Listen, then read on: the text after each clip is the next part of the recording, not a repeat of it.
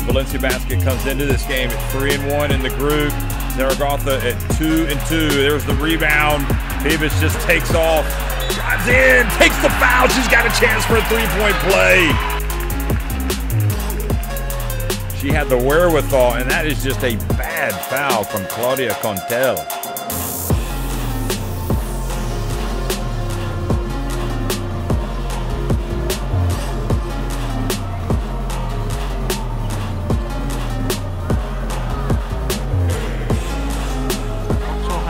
Away to Peters. Good chase out by Williams.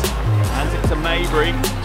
Mabrey, step back. Three ball! Marina Mabrey! What a player she is!